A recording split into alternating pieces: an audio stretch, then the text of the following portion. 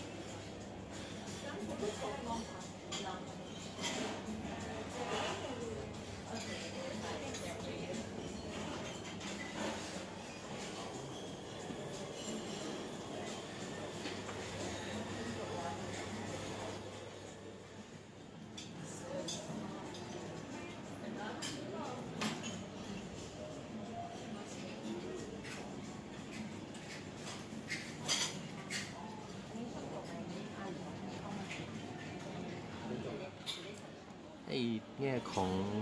โรงหนังเซนทันเนมัสซี่ซินิเพล็กเนี่ยผมว่าก็ก็ราคาสูงนะครับ ในระดับท็อปๆของเมืองไทย แต่ว่าก็คุ้มในแง่เรื่องความเป็นส่วนตัวนะครับ ที่นั่งก็ไม่ได้เยอะมาก แล้วก็มันว่าพักผ่อนได้นะ ดูหนังเสร็จก็ทานอะไรนิดๆหน่อยๆ ตามภาพที่ที่ถ่ายให้ดูได้นะครับมันก็ก็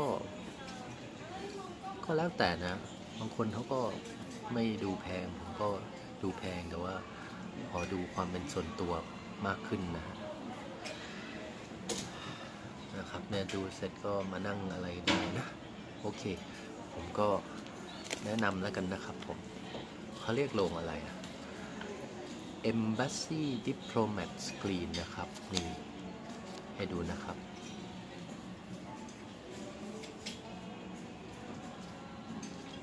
Embassy Diplomat Screen นะครับ ใครสนใจเข้ามาดูนะครับ สวัสดีครับ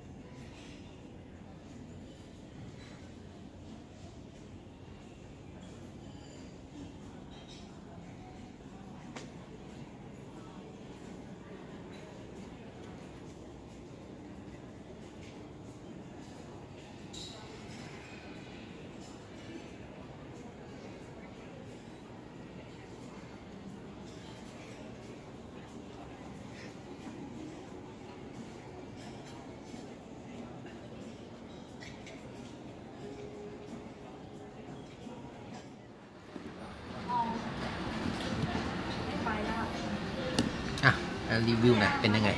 ดูเรื่องดูเรื่องอะไรแอปแอปโดมิเนียมา เป็นยังไงบ้างฮะไม่ใช่เรื่อง a v e r e s t อะชื่อเรื่องชื่อ Abominable Abominable นะครับอะชื่อเรื่อง Abominable เป็นยังไงบ้างคะสนุกยังไงครับเอ่อมันมีตัวตัวประหลาดใช่ไหมชื่อเอเวอเรสต์ มันเป็นเยติอ๋อโอเค แล้วมันเยติที่มีเวทมนต์เรื่องเกี่ยวกับอะไรคะ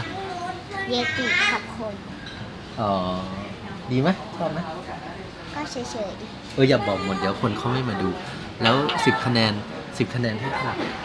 ถ้าเต็มสิบคะแนนให้ๆเก้าจุดห้าเก้าจุดห้าเลยเนาะพ่อให้เท่าไหร่ดีงั้นพ่อให้พ่อให้เก้าจุดห้าห้าแล้วกัน เก้าจุดห้าห้าเก้าจุดห้าห้านี่นะครับแบบนี้เนาะอ่าก็ลองมาดูนะครับอันนี้เราดูที่ Embassy Diplomat Screen นะครับก็ลองดูนะสวัสดีครับแอปโบมิเนเบอร์นะฮะแอปโบมิเนเบอร์โอเค บ๊ายบาย